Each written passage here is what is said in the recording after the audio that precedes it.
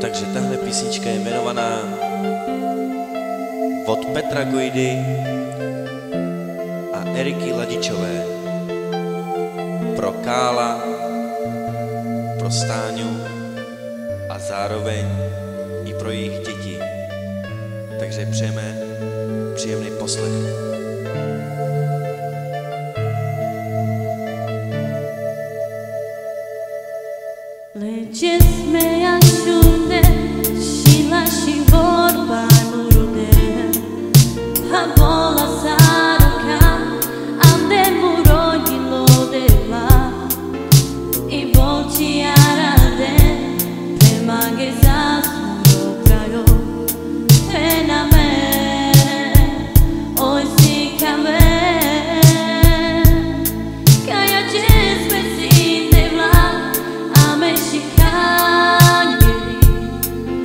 favor.